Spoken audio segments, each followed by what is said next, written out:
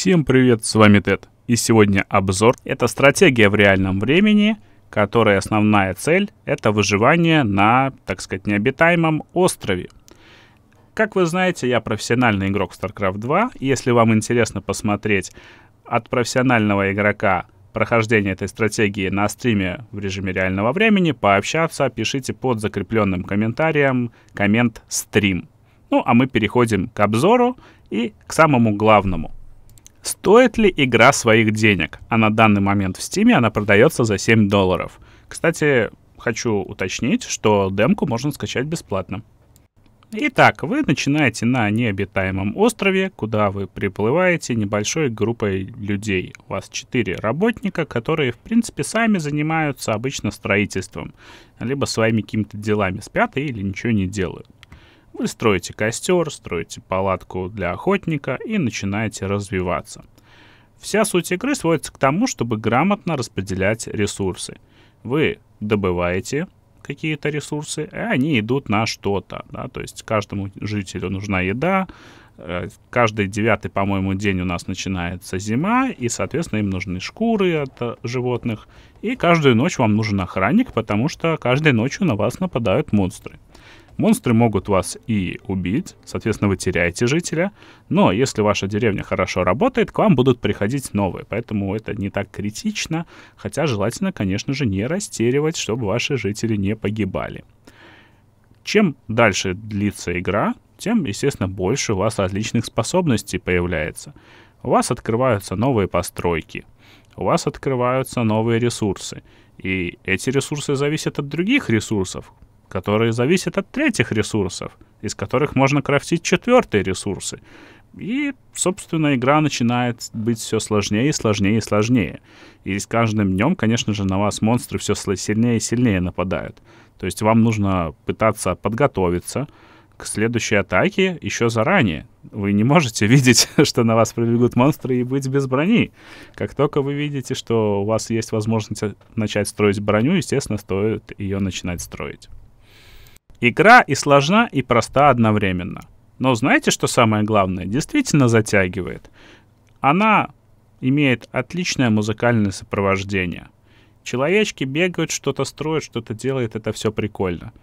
И в чем ее сложность? В том, что если вы хотите прям все хорошо оптимизировать, вам реально надо будет периодически ставить на паузу, распределять рабочих, менять их задачи. Но также, я думаю, вы можете играть в нее достаточно не спеша, давая каждому жителю задание, прокачивая их способности.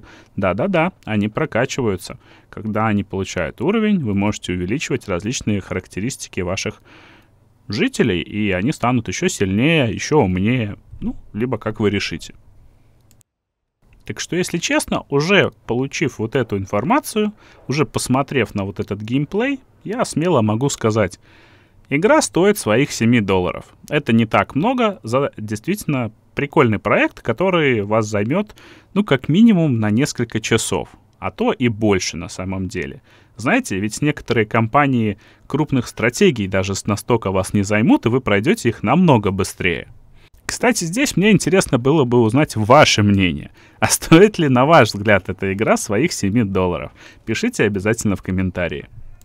Ну и не забывайте написать под закрепленным моим комментарием слово «стрим», если хотите увидеть эту игру на стриме.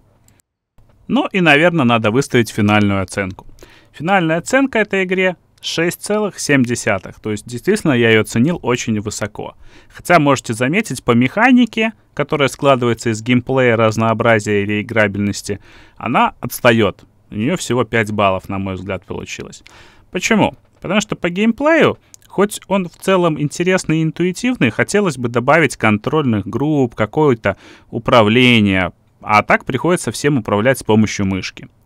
По разнообразию по разнообразию. Вроде бы у нас много возможностей, но однако все здания практически имеют свой лимит построек. То есть вы можете построить 4 хижины, там, два домика лесоруба, и больше нельзя. То есть вы не можете придумать, как бы вы хотели точно развиваться. Вы лишь можете придумать, в какой последовательности их ставить, чтобы оптимизировать под ваше текущее положение. По реиграбельности по этой же причине мы ставим пятерку. То есть вроде бы ее можно поперепроходить, но в основном только из-за того, что вы, скорее всего, дойдете, например, до сотого дня, и в следующий раз решите сыграть по-другому и дойти там до 120-го. Вот. Но если вы научитесь в нее играть супер долго, то вряд ли вам захочется потом еще раз что-то менять, потому что, в принципе, особо этого сделать и невозможно. Вот. По погружению честных 7,7 балла. Действительно, графика восьмерка, да, вы будете ругаться, графика ж ни о чем. Но на самом деле, вот очень важно понимать, графика подходит проекту или нет. И этому проекту, мне кажется, подходит. Она действительно приятная, ей проникаешься, и играть, и смотреть это одно удовольствие. Музыка по этой же причине ставится у меня восьмерка. Она просто банально подходит под эту игру.